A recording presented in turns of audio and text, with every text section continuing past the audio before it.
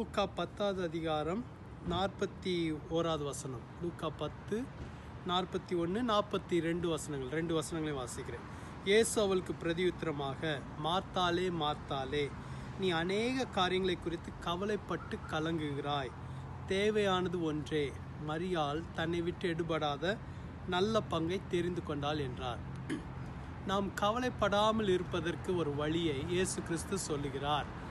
மார்த்தாள் என்கிற ஒரு பெண்ணை குறித்து சொல்கிறார். நீ அநேக காரியங்களை குறித்து கவலைப்பட்டு கலங்குகிறாய். அவளுடைய சகோதரியான மரியாதை குறித்து இயேசு சொல்லுகிறார். அவள் இயேசுவின் பாதத்தில் அமர்ந்து இயேசு சொல்வதை கேட்டுக்கொண்டிருந்தபடியினால் அவள் தன்னுடைய சகோதரியாகிய மார்த்தாளை போல கவலைப்படாமல் அமைதலாக இருந்தாள். ஆகவே இயேசு சொல்லுகிறார் நீ என்னுடைய பாதத்தில் உட்காரும்போது எந்த கவலையும் உன்னை தாக்காது. நாம் கவலைகளிலிருந்து வெளியில் வருவதற்கு ஒரே வழி இயேசுவின் பாதத்தில் அமர்வது. இயேசு சொல்லுவதை கேட்பது. அது நம்முடைய கவலைகளை நம்மளை விட்டு நீக்கும். அநேக நேரம் பலவிதமான கவலைகள் ஒரே நேரத்தில் நம்மளை தாக்குகிறது. ஆனால் இயேசுவின் பாதத்தில் உட்கார்ந்தால் கவலைப்படாமல் கலங்காமல் இருப்போம்.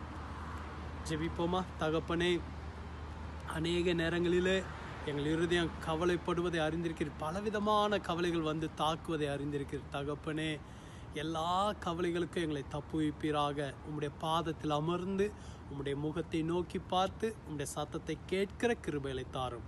ஆசீர்வதி இந்த நாளில் உம்முடைய பிள்ளைகளை உற்சாகப்படுத்தி எல்லா கவலைகளையும் நீக்கும். உம்மை நோக்கி பார்க்கட்டும் உம்மை நோக்கி இயேசுவேன்னு கூப்பிடட்டும். உம்முடைய பாதத்தில் அமரட்டும் கிருபை தாரும். ஒவ்வொருவருக்கும் அற்புதம் செய்யும். இயேசுவின் மூலம் பிதாவே. ஆமேன். கர்த்தர் உங்கள் கவலைகள்லாம் தீர்ப்பார்.